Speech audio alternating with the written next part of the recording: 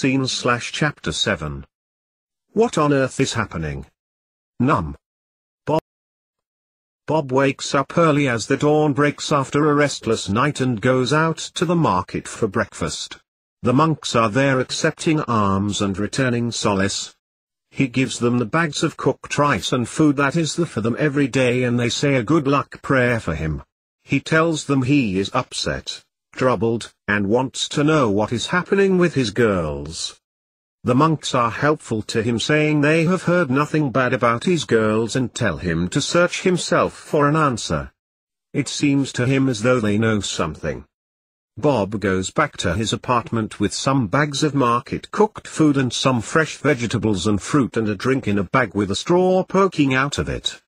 Nobody cooks much themselves in Thailand with so many wonderful dishes being prepared and sold all day by those whose years of specialist cooking all day cannot be beaten. During the morning Bob is working at his workstation editing his interviews reviewing and inserting the reverse angle shots of him asking questions. Without his input he gets a flash from a 3D screen object and he hears one comment that makes him pull away from his desk and bite his finger when one of the girl assistants, of the CEO he has seen earlier, in a live corporate interview says in a demonic voice Asian women have to be strong together and Bob does not remember recording it so it appears like a push feed type advertisement. The feed disturbs him makes him sigh but then picks himself up and he notes on his agenda schedule I must no longer be one of the sheep. I really must get off my ass and do something, not just to find his girls but to sort out my life as well for all of us. Bob sees a note he made from his colleagues in the news center to look after his self-interests first in order to retain being in control of his life. If he doesn't smite them out then he will be no good for anyone and could become a burden to them all. He does some research doing linked multi-screen web surfing. As he does he starts getting strange mental flashes from somewhere. He assumes they are coming from his workstation, and they are concerning his girls. They appear as subliminal flashes of jungle and what looks like a prison compound. It feels uncomfortable to him as it gets stronger. These visions rattle him so much he gets up and takes some fever medicine as it makes him feel sick and worried and so he goes and lays down. Later, back at his desk Bob looks up schizophrenia on a web medical encyclopedia but highlights the lines as he reads that his experiences don't appear real to him or his own thoughts but appear ghostly and the messages he is getting are clear and undistorted. The images are pushed at him like TV news without personal choice or reason based on personal history or current situation, but unlike schizophrenia they don't communicate with him as real and he laughs at pictures of John Nash as they appear with scenes from the Beautiful Mind movie as if the computer is playing with him and his thoughts about schizophrenia. All this activity he feels is abnormal, it is so unusual for him it makes Bob check to see if his search profile is turned on or off so that he is not playing games with his own profile that obviously biases new results towards his previous search topics and results he has clicked on. The kind of uncanny results that sometimes give users a deja vu kind of experience or feeling that they're being spied on. Bob has a scientific mind requiring proof by repeatable and non-coincidental but connected second source results from testable examples. He has the scientific ability to see connected relationships occurring but being wary enough not to create results to fit coincidences with any preconceptions he may have. He continually takes steps back to review what he has found. Steps out of what may be a narrowing canvas to review what is surrounding the picture. Not so much creating a bigger picture but looking at what may be influencing the context of that picture and maybe making it bigger if necessary. Looking at the outer picture of what is inside the box. Bob is not the normal sensationalist journalist who fits situation results into sensationalist cliches presented with overdramatic dialogue that create a false populist priority rather than a realistic grounded perspective within a well-defined context boundary. His reports are very matter of fact.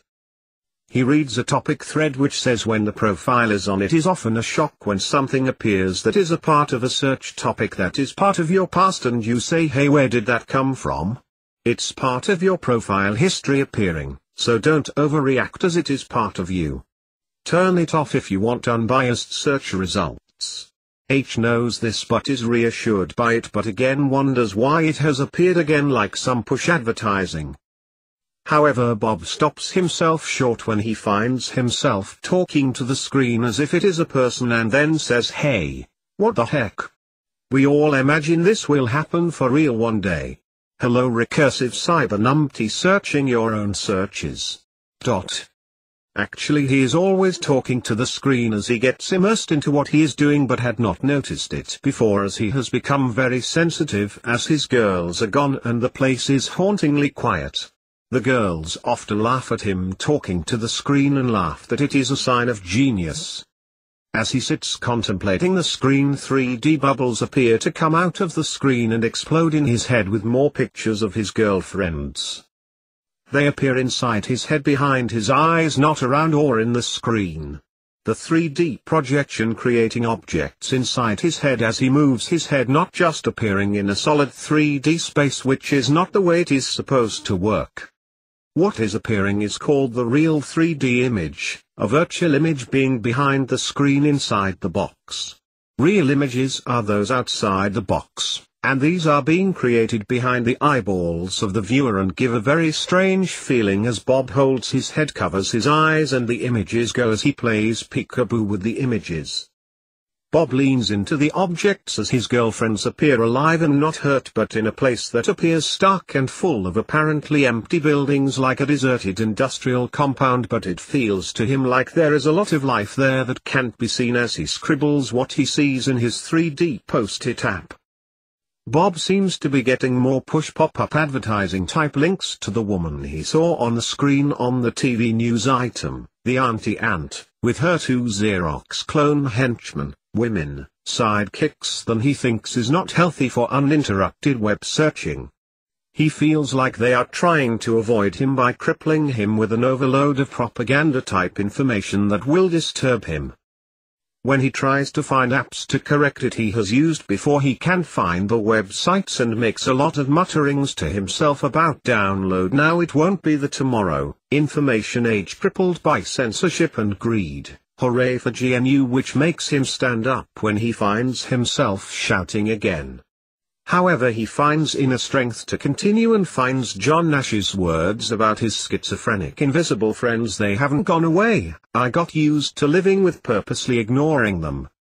He sees the YouTube of Comfortably Numb by Pink Floyd in a search and plays it in the background. He sits back and phones Dick who is sitting with a jug of beer and goes out to join him. Dick is lording it at his table, as he does every day, and as usual a little tired and emotional. Bob sits with him and tells all of how his guts are tangled and how he must change his life and go look for his girls. Dick says slow down and spouts a load of uncontrolled emotional bollocks about love being everywhere etc. Nothing useful but the standard offers to heal emotional wounds promoting love and denying that love is a cause for lethargic demotivation and hate being the real driving force. If you don't like something you remove it, if you love something it makes you accept it even if the love situation causes you to let everything around you fall apart while you are in its misty grasp. Even if the love promoters insist hate trips you apart you are at least motivated, proactive and driven to remove the cause of the item or items of dislike that plague you. Dick tells Bob to be careful in his search as the islands around them still have cannibals who collect shrunken heads. He jokes that they would be better fed by politicians' shrunken heads. He says protection is limited as poisoned blow darts go straight through Kevlar body armor as they are fine points and not wide bullets.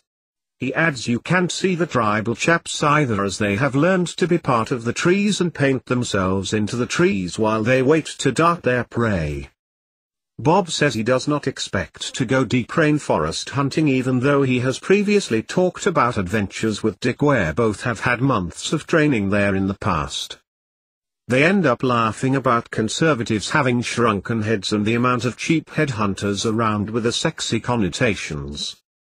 Dick has an awful nasal laugh like Keith Richards that makes Bob cringe but smile.